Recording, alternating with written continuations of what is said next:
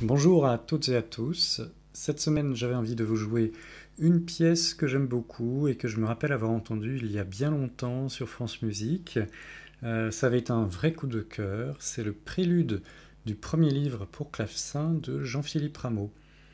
Pour la petite histoire, donc c'est la toute première œuvre publiée par Rameau en 1706, alors qu'il n'a que 23 ans.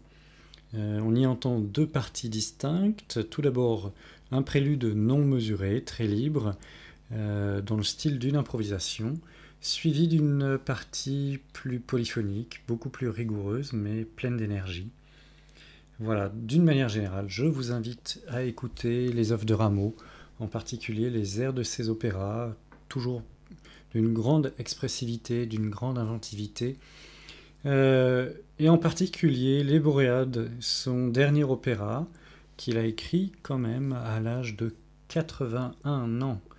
Voilà donc le prélude du premier livre pour clavecin de Jean-Philippe Rameau.